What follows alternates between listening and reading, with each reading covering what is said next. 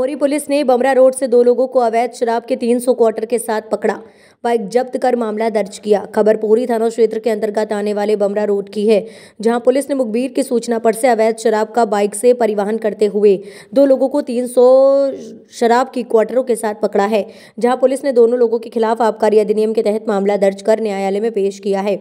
जहाँ दोनों लोगों को जेल भेज दिया है। घटनाक्रम की जानकारी के अनुसार प्रधान आरक्षक कौशलेंद्र सिंह तोमर को मुखबिर से सूचना मिली कि बमरा रोड से दो लोग अवैध शराब का परिवहन कर रहे हैं, जिस पर पुलिस ने मुखबिर की सूचना पर दबिश दी और मौके से 300 क्वार्टरों के साथ बाइक जब्त कर ली है। वहीं पुलिस ने दोनों लोगों के खिलाफ आबकारी अधिनियम के धारा चौंतीस ऑब्लिक दो के तहत मामला दर्ज कर न्यायालय में पेश किया है, जहाँ न्यायालय ने दोनों आरोपियों को जेल भेज दिया है। संवाददाता धर्मेंद्र शर्मा की रिपोर्ट।